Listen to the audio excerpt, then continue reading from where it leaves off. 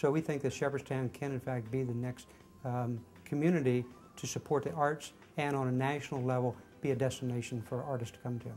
The town became more diversified. I think the secret was out. A number of people decided, well, this would be a wonderful place to live, and they were right. It was a great place to live. When you were close enough to Washington D.C., uh, you could you could hop in your car and you could be at the Kennedy Center in a matter of uh, 60, 75 minutes. Uh, there were a number of restaurants in Shepherdstown then, and to this day, there are still more restaurants in Shepherdstown than any town of its size that I know of. Shepherdstown is unique in that it can support uh, uh, more of that kind of thing than most most towns can. Uh, unique uh, gift shops, uh, unique toy stores.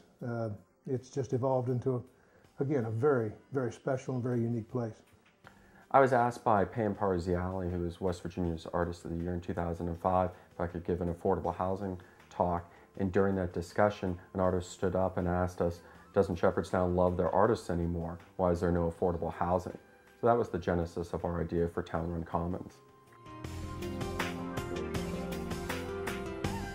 Town Run Commons is a creative community in Jefferson County. It's the first mixed-use community ever approved in the area, and it's 32 condo flats with 20,000 square feet of commercial space, of which 10 is studio artist space, and the remaining 10 is more retail, which encompasses a local restaurant, homegrown homemade store, and a community kitchen. And the evolution of the whole concept has, has evolved to a sustainable market, um, both from an environmental standpoint when we talk about building materials, but also from an economic standpoint where we actually believe it's going to be an economic incubator, both for the creative class, but also for what's unique to our area, which is agricultural.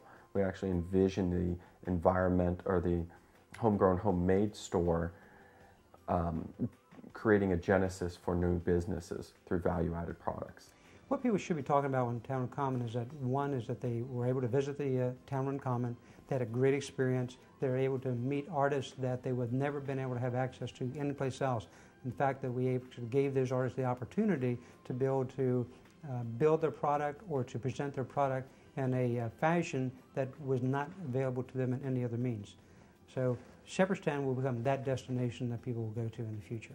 I, I think the big piece in this whole um, economic development is to take an assessment of what local resources you have. So for instance, in Jefferson County, there's 139 nonprofits in what we'll call the arts and humanities arena.